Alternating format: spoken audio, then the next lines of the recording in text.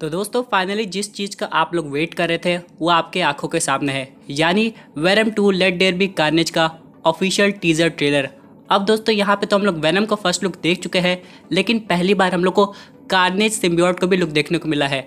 और यहाँ पे हम लोग को इसकी एग्जैक्ट स्टोरी भी पता चल रही कि इसमें क्या होने वाला है। तो दोस्तों, ये जो वीडियो का ब्रेकडाउन है, वो मैं कल बता दूँगा, लेकिन आज ये एक सिंपल सा रिव्यू है। तो दोस्तों कंप्लीट वीडियो को स्टार्ट करने से पहले आप लोग कर दीजिए वीडियो को लाइक और कमेंट करके ये बताइए वैनम के ट्रेलर को पाँच में से कितना स्टार देंगे। साथ ही साथ, जो लोग मेरे चैनल पर नया मेरे चैनल को सब्सक्राइब करके हमारी कॉमिक बुक टॉक्स फैमिली का हिस्सा बन जाए। तो दोस्तों, हम लोग शुरुआत करते हैं।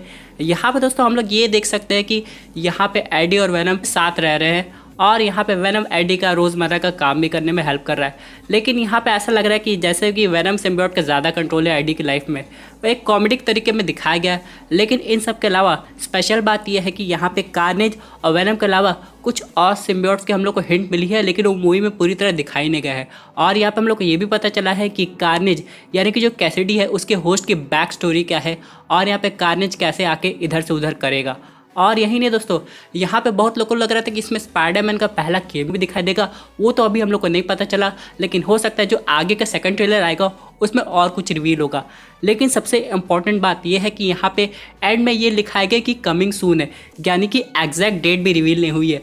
लेकिन मुझे खुशी इस बात की कि ये मूवी थ्री डी मारी है। और फ़िलहाल अगर हम लोग ट्रेलर की लैंग्वेज की बात करें तो ये सिर्फ़ तो अभी इंग्लिश पे रिलीज़ हुआ है। लेकिन मुझे पूरा यकीन है कि कुछ समय बाद ये हिंदी में भी आ जाएगा। दोस्तों, चलिए समझ लेते हैं कि इसकी बेसिक स्टोरी है क्या। यहाँ पर दोस्तों पहले कार्नेज यानी कि जो कैसेटी है, वो एडी ब्रॉक को जेल में मिलने के बुलाता है, इस काम से ताकि वो वैनम और कार्नेज मिलके एक साथ केओस क्रिएट कर सके।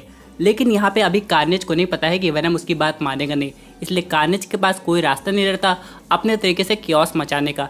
लेकिन यहाँ पे हम लोग को भले स्पाइडरमैन की हिंट देखने को नहीं मिली है, लेकिन लोग देख सकते हैं वही न्यूज़पेपर जो हम लोग को मावा सिनेमेटिक यूनिवर्स में भी दिखाई दिया है। यानी दोस्तों चीज़ें चेंज नहीं हुई हैं पेपर के रेफरेंस वही हैं, कुछ शहर भी वही होंगे, लेकिन अभी तक स्पाइडरमैन नहीं आया।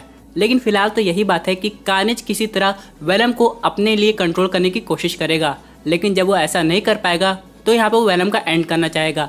आप लोग देखे थे वैनम वन में क्या हुआ था?